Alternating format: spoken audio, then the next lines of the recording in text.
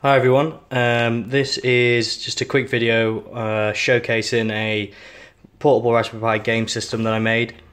Um, it's running RetroPie from a Pi Zero. Um, it's currently got Game Boy and NES games on it.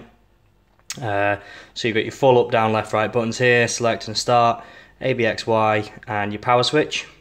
So if we open it up, uh, I think the battery I used was 10,000 milliamp uh, just a portable power bank that I sort of took apart and glued in place.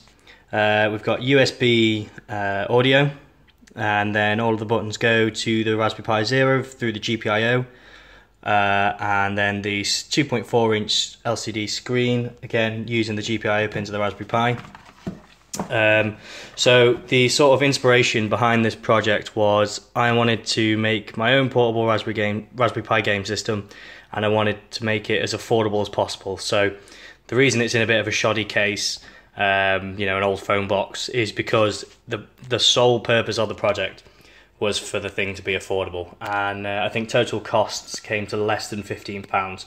So um, quite pleased with the results, to be honest. Um, probably could have taken a bit more care when cutting the holes out for the screen, but uh, I'm going to be doing a, uh, a, a version two of this. Um, and see if I maybe up my budget, maybe by five pounds, see if I can get a better case, um, and then make it just look a bit better because obviously you've got exposed um, prototype board here.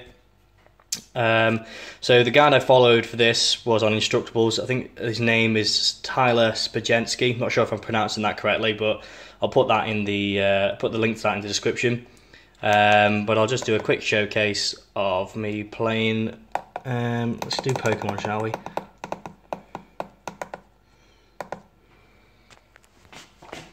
Series now booting up. Uh, I've not got anything plugged into the speakers, so there'll be no sound on this, unfortunately. But uh, the sound does work really well. Uh, it's it's it's pretty good for being just a cheap. I think I paid about a pound for the USB audio. Uh, that was it. So so here I am playing Pokemon on it. Um, like I said, really happy with the results. Um, the guide that Tyler made is awesome, so definitely go and check that out if you want to make it. Um, feel free to leave any comments if you tried it yourself, need any help. Uh, and if you if you like this video, give it a thumbs up. Cheers.